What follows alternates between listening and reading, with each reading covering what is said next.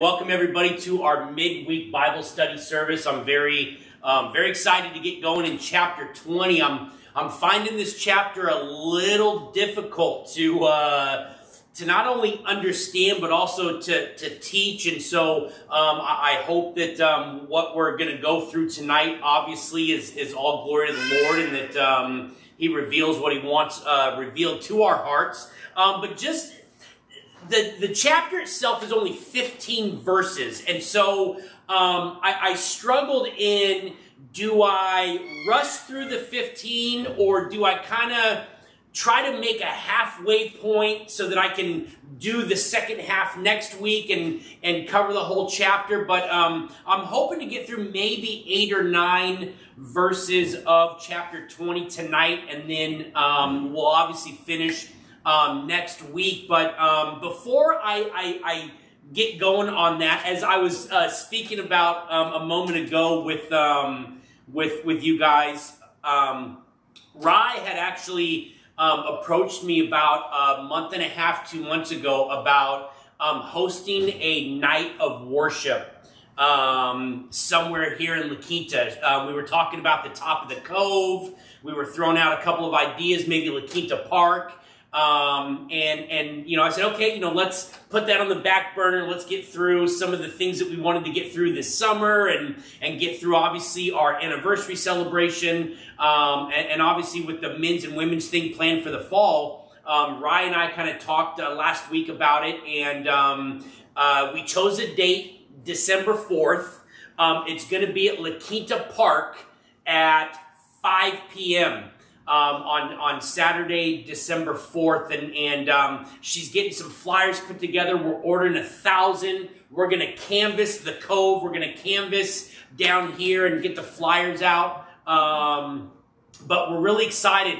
What's cool about it too is that um, there is a special guest being flown in for this from Michigan. His name is Zach Radcliffe.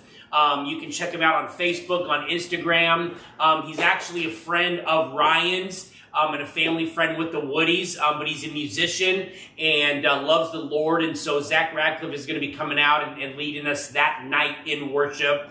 Um, and we're just looking uh, for a great opportunity to do community outreach, to praise the Lord, um, and to have just a really fun time um, partnering with obviously some churches here in the area as well and uh, enjoying a night of worship at La Quinta Park. So more details to come on that. Obviously, the, like I said, the flyers we'll have to hand out and, and we'll be canvassing the neighborhoods. Um, but if you wanted to help out with that as well, you're, you're more than welcome. But uh, Zach Radcliffe, December 4th, definitely looking forward to that. Um, with that being said and, and, and out of the way, um, get your Bibles open or you can follow along in the handouts. Everybody have a handout. I think I, I set uh, one in front of everybody. I'm going to read the first nine verses of Revelation um, chapter 20 and then um, open this up in, in, in, a word of prayer and, uh, and, and, get us going.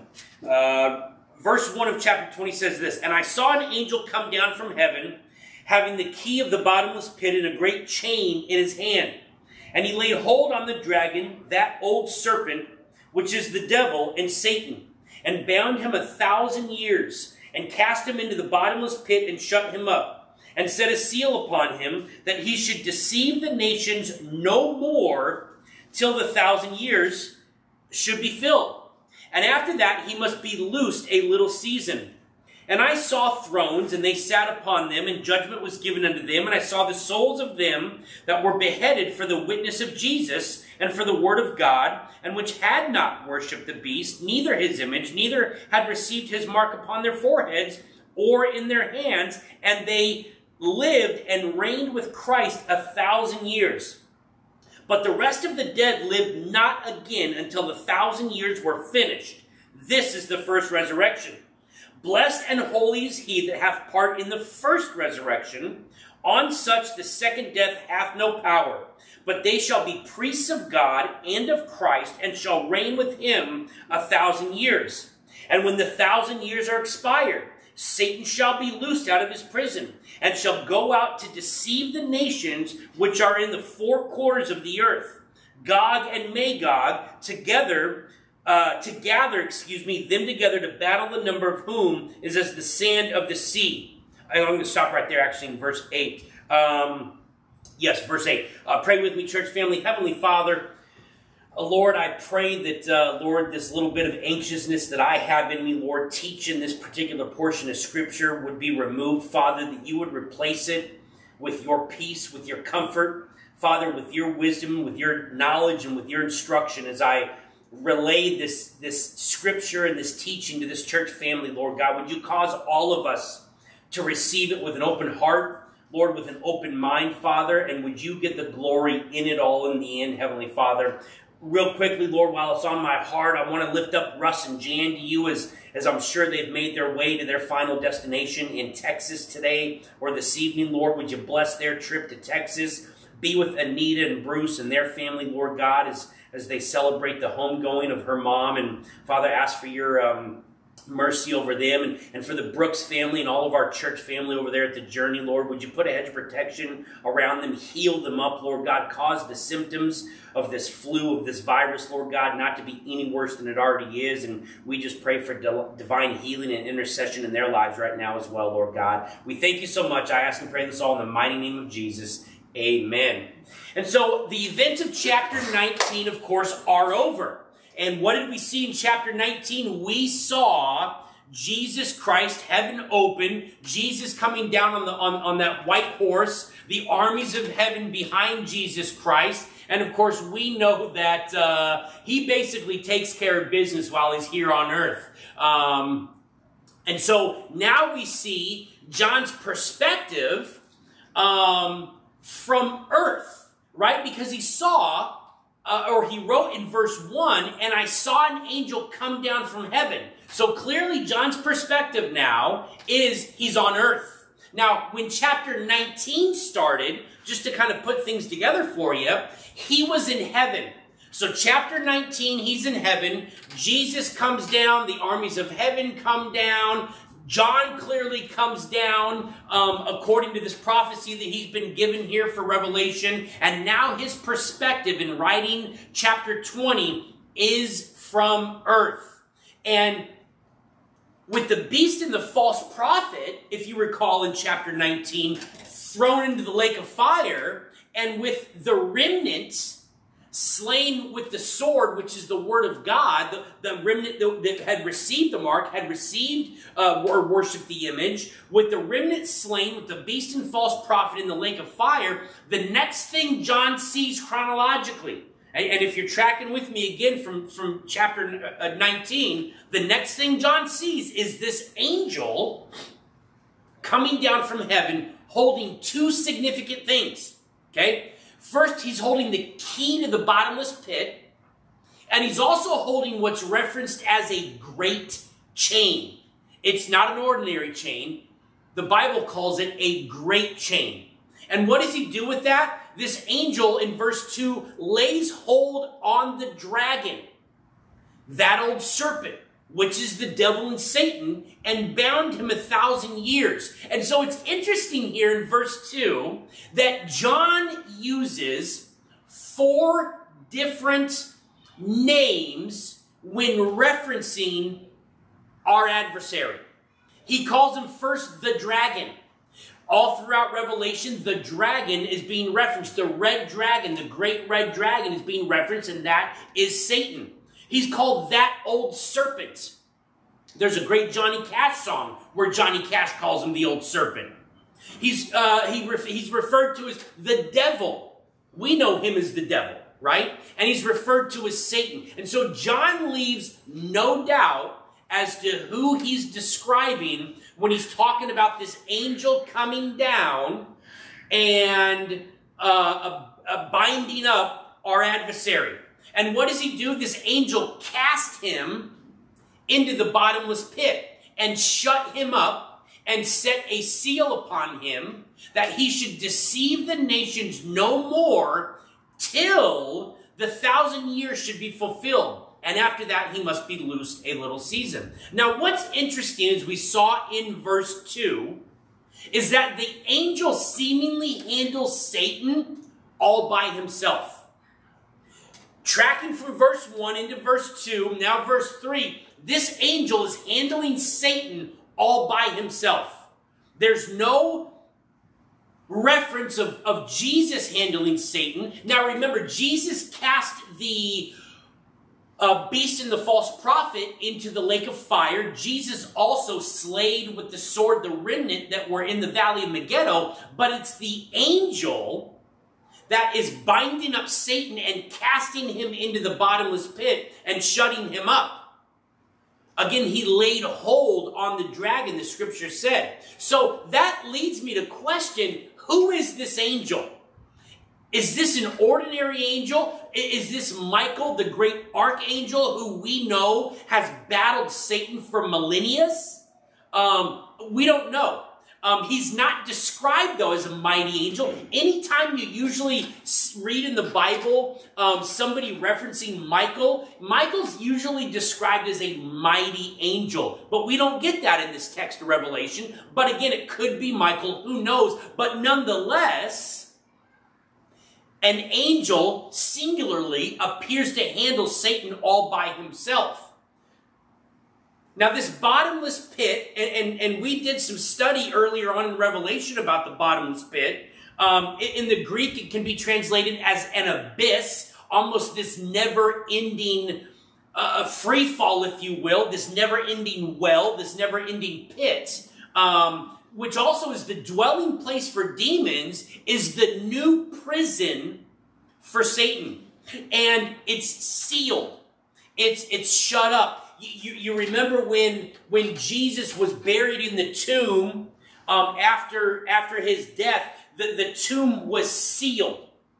Um, if you've seen, um, and I'm trying to remember the name of, of the movie off the top of my head, but I saw a movie where um, this Roman soldier basically goes out to try to find out by himself whether or not Jesus is, is, is who he says he was. And there's a scene in that movie where it shows the tomb of Jesus Christ and it's sealed up, of course, with pitch, but also around it are chains. Chains sealed into the wall as, as if they're, they're hammered or knocked into the rock so that nobody can remove that great seal. And so similarly, if you, if you can envision that, this bottomless pit is sealed it's it's shut up. It's covered um, with this great chain again that is referenced in, in in verse one of chapter twenty, and locked up with the key. Now remember again, the angel was holding the key to it, and he was holding the great chain to lock it. And so clearly, this angel locks it. He seals it. This angel has the key, and that's going to be the dwelling place, if you will, of Satan for the next 1,000 years. Now, Think of it in terms of death row. Okay? Ultimately, Satan is on death row. And during this thousand years, we, we, can, we can articulate, if we can, that this bottomless pit is Satan's death row. That's his holding cell before he's loosed for a season, but then when ultimately God comes down and, and strikes Satan and casts him into the lake of fire for all eternity. Um, it, it's where he's going to serve out his thousand year sentence, if I, if I can. Until again, when the pit is open, he's let loose, which we're going to dive into in some upcoming verses. John goes on to say in verse 4 And I saw thrones, and they, they sat upon them. And judgment was given unto them, and I saw the souls of them that were beheaded for the witness of Jesus and for the word of God, and which had not worshipped the beast neither his image, neither had received his mark upon their foreheads or in their hands, and they lived and reigned with Christ a thousand years. So John sees these thrones and they, they sitting on them. Now, the they is not clear, but all throughout the book of Revelation, we get some indicators as to who they may be. No doubt God the Father and the Son are sitting in, on their rightful place on the throne. No doubt. God the Father and the Son. However, based on the phrase judgment was given to them, in our text, if you go back to Revelation 5:10, Revelation 5:10, the 24 elders declared that we shall reign on earth. And if you're put in a position to reign, ladies and gentlemen, make no mistake about it, you're also put in a position to judge. If you're put in a position to reign, you're also put in a, in, into a position to judge. And so these 24 elders, all the way back in Revelation chapter 5, said that they will reign on earth. We also see at the end of this verse, verse 4, that those martyred during the tribulation live and reign with Christ a thousand years. We also see in the verse ahead, which I'll get to in a moment, that those who are part of the first resurrection, which I'll dive into in a moment, which is the church and the Old Testament saints, also reign with Christ a thousand years. And if you fast forward all the way up to Revelation 22 5, it says that the servants of the Lamb will reign forever and ever. And so there's a lot of references in the book of Revelation in regards to reigning with Christ. And again, if you're given a position of reign, you're also given a position of judgment. Ultimately, though, it seems that at the end of the tribulation and at the dawn of the millennium, one of the first things established is government. Okay? The first things established is government. Now, I, I, I, I, I beg you and I ask of you to bear with me because the word government today is a very scary word. Nobody trusts government today, okay? But but keep in mind, God created government. Man created politics, okay? But God created government. Now, I'm not talking about the established Democrat or Republican political type governments, um, but this is an established form of government with Jesus as king. Again, there's never going to be an election once Jesus established his throne and, and his kingdom here on earth. There's never going to be an election that can be fraudulent because of a voting system. Jesus is king for all eternity. There's no ifs, ands, or buts about it. Nobody's taking away that throne. Nobody's going to try to uh, uh, uh, take a have a coup against that throne. Nobody's going to try to supersede that throne. Jesus' throne is eternal, and so is his government that he's going to establish. There's going to be no place in the kingdom of Jesus Christ to be red pilled. There's going to be no place to be blue pilled. It's, it's Team Jesus all the way. Okay? Remember, Isaiah 9 6 says this, and the government shall rest on his shoulders. God created government. There's nothing wrong with government. There's a problem with politics. Okay? Now, before I move on, it's interesting to note, as I mentioned a moment ago, those who were martyred during the tribulation are also reigning with Christ a thousand years. Now, they are spoken of in distinction to the church, which we know has joined the bridegroom at this point for the supper that we saw back in Revelation 19. And so, right now, as the text is laid out, the church is, is, is, is with its, its bridegroom. The bride is with the bridegroom. The church is with Jesus Christ, okay? But there's a reference that those that were martyred during the tribulation time period are also reigning with Christ during those thousand years. And it may be that while these are in uh, while while these are in heaven and are saved, or they were in heaven and are saved, they're now obviously on earth, they are not considered part of the church. And, and I went over that in, in detail when we were talking about those martyred during the tribulation versus those that were part of the church. They are separate, okay? Not that they are, are uh, of any less value or any greater value in the eyes of God, but they are mentioned separately from those of the first resurrection, which we'll dive into in a moment, as ruling with Christ for a thousand years. And it may be that their rewards are different and their positions in the kingdom of God and in, in, in his established government are different. He goes on to say in verse 5 But the rest of the dead lived not again until the thousand years were finished. This is the first resurrection. Now, the last thing I want to do, and, and you all should know, be, know, know me by now, is, is present something that I'm not sure of. But who are the rest of the dead? Okay? Who's the rest of the dead that will not live again for the thousand year time period? I believe them to be the unrighteous or unrighteous or unsaved dead.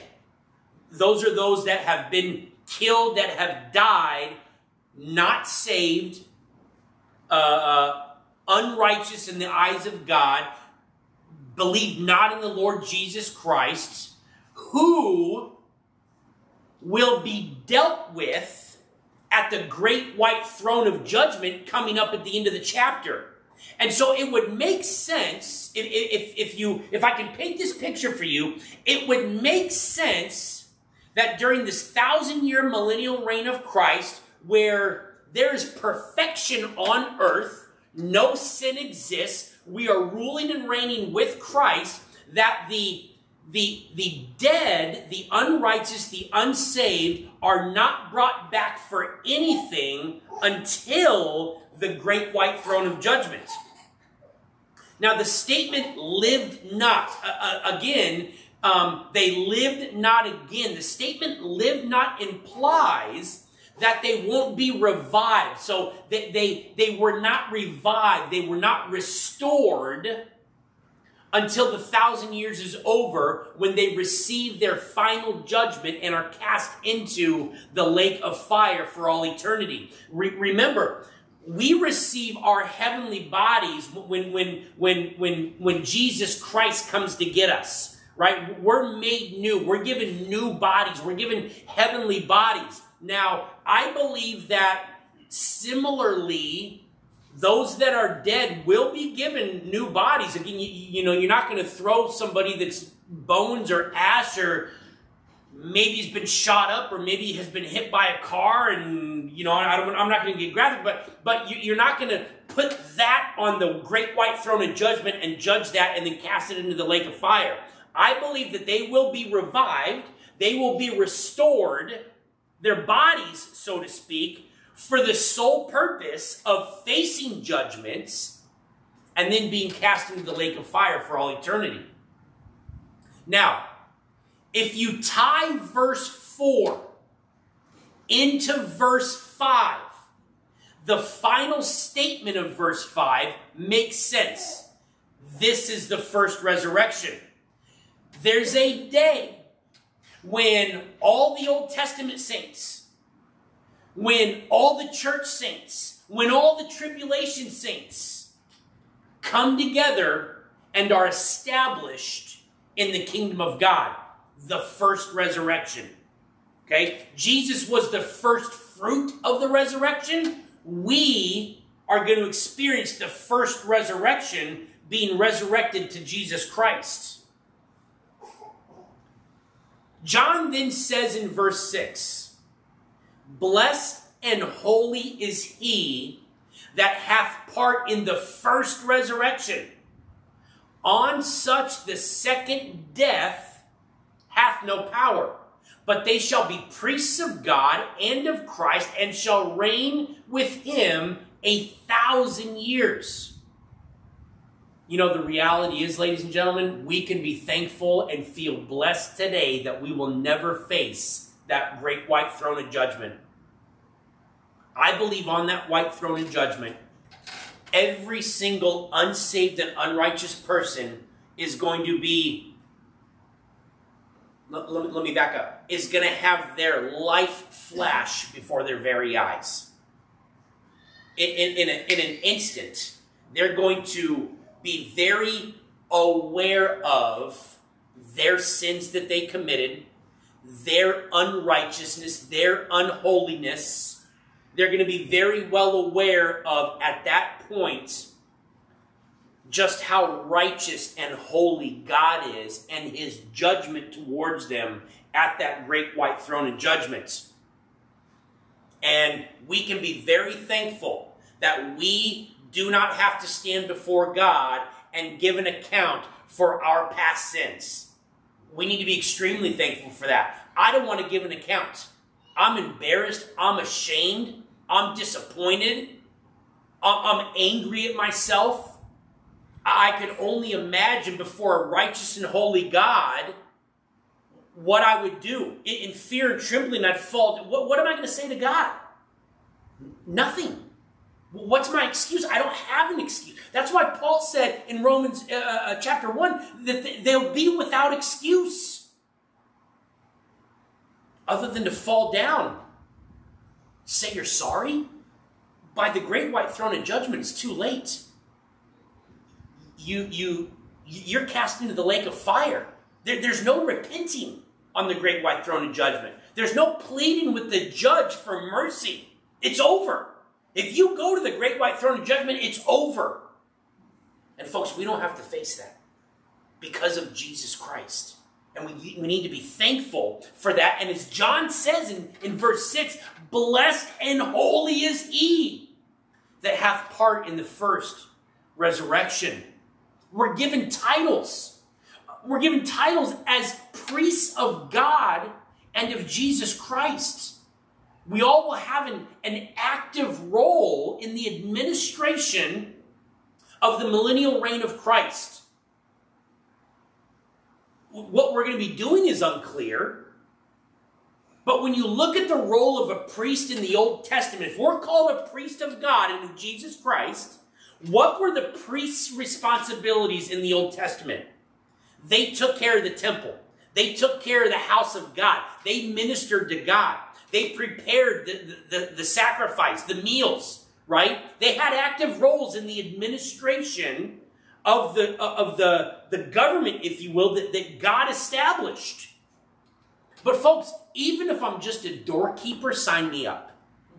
Even if I get to sweep the dust off the welcome mats in front of y'all's mansions, sign me up for heaven.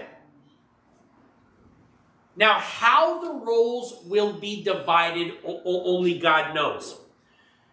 But I think we can look back to the parable of the talents in, in, in Luke 19 to really understand how they're divided. Okay? I believe that, that what we're given in heaven is based upon our faithfulness and service of right now. If, if you remember the parable of the talents in, in Luke 19, and I believe there's some, some, some other uh, uh, of the Gospels, one or two that pick up that parable of the talents, but, but the, the master went away and he, and he gave talents to, to people and, and people invested it. Uh, one invested uh, uh, the talent and, and got 10, tenfold increase back, and another invested the talent and got fivefold increase back. And, but there's the story of the one that invest that, that didn't do anything with it. He didn't invest it, he buried it, right? And when the master came back, he was well pleased with the one that invested and got 10 talents and, and said, To much will be given to you, much will be given to you. He even said to the same that, that got the five talents back, Much will be given to you. You've invested wisely, you've done good for my kingdom, for my house. But what did you do to the one that did nothing? He actually condemned him, took his talent, and gave it to the one that had the ten.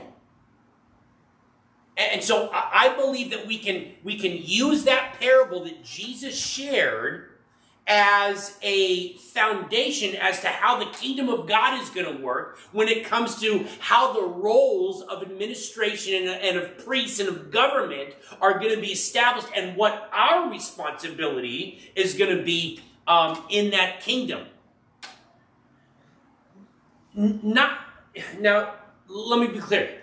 I don't believe that any one is going to receive anything wor- it's not going to be looked at as worse if, if i may oh well you know jonathan over there look what he got he didn't get something as good as i did right boasting boasting's not going to be in heaven oh well you know look at the look at the 10, 10 houses that i get to rule over pride pride's not going to be pride's not going to be in the eternal kingdom so I, I, it's not going to be something that because he got fewer, she got fewer, he or she got more, that it's looked at from a vantage point of jealousy or envy or even pride. Um, but I believe that that parable of the talents kind of describes to us how God's blessings are going to be poured out when it comes to us inheriting the kingdom of God and our position as priests and, and judges and rulers, if you will, alongside Jesus Christ. He says in verse 7 And when the thousand years are expired, Satan shall be loosed out of his prison and shall go out to deceive the nations which are in the four quarters of earth, Gog and Magog, together, or to gather them together to battle, the number of whom is at the sand of the sea. If you're like me, why in the world isn't it over yet?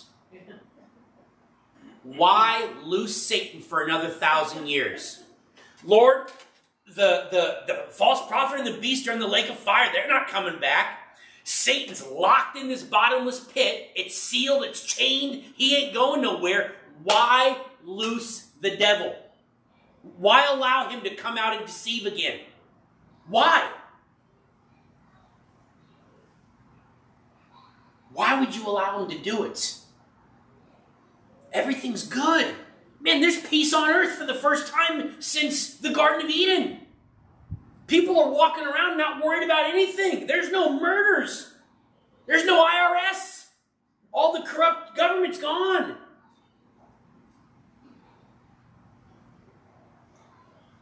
Maybe this is the reason. Since the Garden of Eden, man has been faced with temptation and choice. Since the Garden of Eden, mankind has been faced with temptation and choice. The millennium is going to present a generation of people that have never had to worry about that. Ever. Not one time in their life will they have ever had to worry about making a choice between right and wrong. Because wrong doesn't exist yet. Because Satan's still bound up. There's been no deception during the thousand years. There's been no idolatry. There's, there's been no hatred. There's been no jealousy. There's been no exploitation. There's been no fornication that they've ever had to deal with. Now, it should be noted that there is most likely a remnant of normal, natural human beings left on earth, okay, who repopulate the earth over these thousand years. How's the earth going to get repopulated? How, if we go back to verse 8, how's the number as, as, as the sand of the seashore. How does it get back up to that number again? If most of the earth is, wiped out, clearly God has saved a remnant, as he always does. Whenever God is laying the hammer down on his people or on a nation, God always saves a remnant. And it is clear that there's a remnant of people that is brought into the millennium that survived on earth, that never died. They never died during that seven years. We know if we go back in our study to Revelation that God hid Israel from the wrath of the beast uh, uh, during the tribulation. Where he hid them, we don't know, but they are protected. Maybe it's them. Are there some uh, tribulation saints that got saved that were able to uh, hunker down and and and and and survive the, the the wrath of God during those seven years? Possibly, but there's clearly people that are alive that are given the opportunity and chance to repopulate the earth. Now, if you study the scripture, you know that if you die and go to heaven, if, if my wife and, and I died before, you know, we're taken up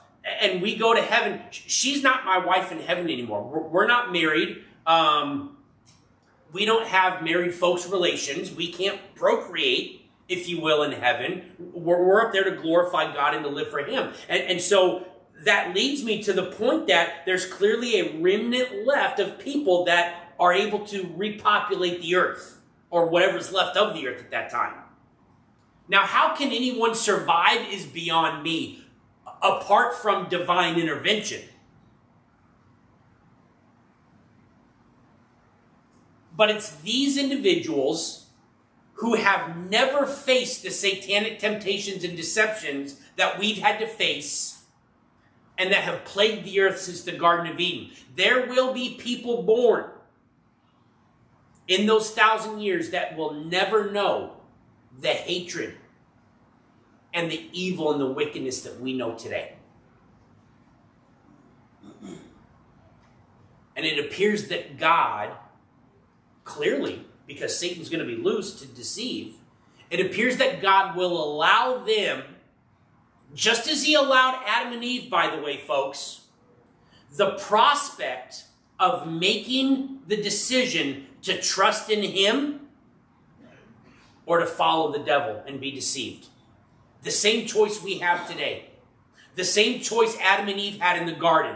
Are you going to trust what God said or are you going to trust what the serpent said?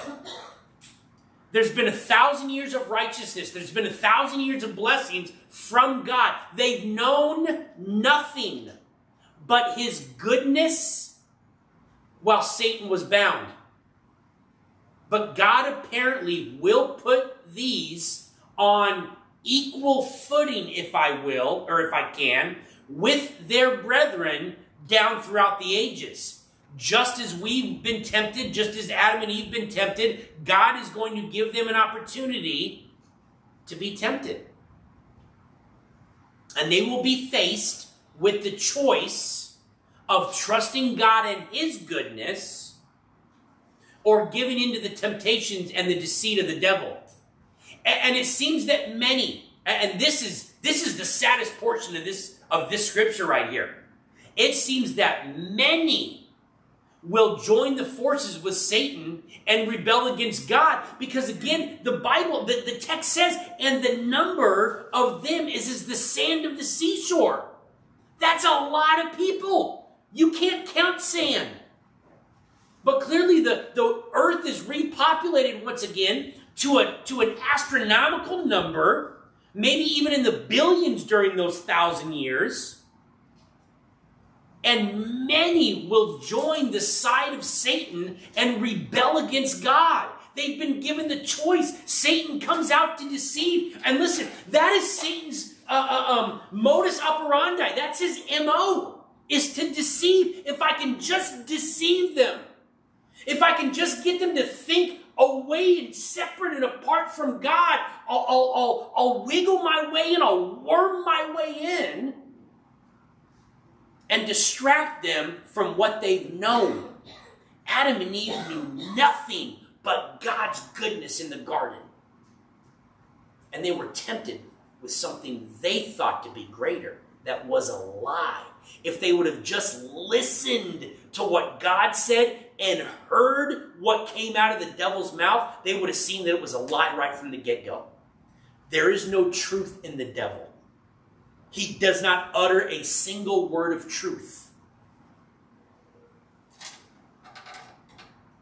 And as John tells us, another gathering of Satan's forces against the saints of God is going to take place. So clearly, and there's not a time frame on this written in the Bible, but clearly Satan deceives the multitudes. And here we are again, back another chapter or two in the book of Revelation, like we were when they were starting to converge in Megiddo. John tells us that the forces of Satan and these that have decided to join his ranks come against the saints of God. Now, historically and geographically, Gog and Magog were nations to the north, northeastish of, of Israel. And they're the nations that are mentioned in Ezekiel 38 that come down and attack Israel, I believe, at the early part of the tribulation, if not right before the tribulation time period starts. But if you were to look at Gog and Magog on a map today, you would have Russia, okay? Rosh, R O S H. But you'd also have all the stands that are below Russia Turkmenistan, Uzbekistan, Kazakhstan. Can anybody else, what other stand I'm missing? Afghanistan. Magog. Is Afghanistan in the news right now? You bet they are. Who is Afghanistan's number one supporter right now? China. To the east of Israel. Remember, we talked about nations coming from the east to the Valley of Megiddo. I'm just trying to connect some dots for you guys. But Gog and Magog on the map today is Russia and all your all your stands. All your stands. And it's the place where Satan will gather his forces, Gog and Magog. They will gather in the stands, they will gather in Gog and Magog, and then go to attack God's people and the holy city. Jerusalem, right? They're going to gather to come against God and his states uh, and his saints, excuse me. Now, I, I want to stop right there, obviously, to give room to, to what I want to um, go into next week to finish out chapter 20. Um, but, but this is a lot to take in. Um, I, I, even though I've studied it, I still, again, cannot answer the question directly other than speculation as to why God would lose Satan for those thousand years. Why not just end it? Let's just get over. Let's just stop it. Enough is enough. But as I mentioned, either last weekend or the weekend before in, in Deuteronomy 29, 29, the secret things are for the Lord. And He is doing something after those thousand years with the people living on earth that we may never we may never find out what what is he doing? What's his purpose? What's he trying to accomplish? Other than giving them the same opportunities that we've had passed down to us throughout the generations since Adam and Eve. They had a choice. They'll have a choice at some point too clearly because the bible says that they'll have a choice to either continue to worship god or to join satan and the multitudes joined Satan at that time, which is unfortunate. And it's unfortunate today that people are joining themselves and aligning themselves with the devil, anyways, and they don't even know it. with that being said, any, any questions, any any go backs, any comments um, that I can clarify or, or, or, cover for you guys or answer before uh, before I pray and close this out? I thought the heavy stuff was over, but I was lying. Obviously, I you know you know, I studied this. I'm like, oh yeah, this is all. It's all you know, unicorns and rainbows for the rest of Revelation, right? We're, we're gonna be we're gonna be with God for all eternity. But man, I start to study this thousand, this post thousand years, and it's like, wow, why would people, why would people turn away from the goodness that they had and follow? I don't know. We have to ask Adam and Eve why they did it. Why do I why do I know I have the goodness of God, but yet sometimes I choose to be a knucklehead? I can't answer that question. We have to answer it for ourselves, right? Um, but oof, Well, maybe, you know, losing the devil after the thousand years, I mean, we gotta look at for God so loved the earth, you know? I Yeah. mean, He's never gonna stop. Yeah, he. I mean, he does. I mean, obviously, love and mercy, right? Mercy. Yeah. Absolutely. Yeah. You know, and, and maybe it is a test of do, do they really love me the way that they say they love me? Are they worshiping me because they believe who I am or because it's fake worship, false worship? You know, that was the problem with a lot of the hypocrites in Jesus' day, you know, the Sadducees and Pharisees is, you know, they, they spoke out of their mouth, but their hearts were, were evil and wicked. You know, they said they, they said things, but their hearts, you know, their hearts weren't in the right place. They threw up prayers, but their prayers were done in vain. And with Adam and Eve, I mean, how much more could he have given them, but yet it just wasn't enough. Right. But in the flesh, it wasn't enough, right? Yeah. I don't know. I don't know either. I mean, you know, I just, I just want to be in heaven right now. I don't even care. But yeah, yeah, and uh, just better keep on studying, keep on Yep. and keep on coming to Yep. Trust the Lord, boy. When when things are when things are falling apart, they're falling into place. I got to keep reminding myself of that. So. Yeah. Anyways, let me uh, let me close this out in a word of prayer. And if you guys have any questions, we can discuss afterwards.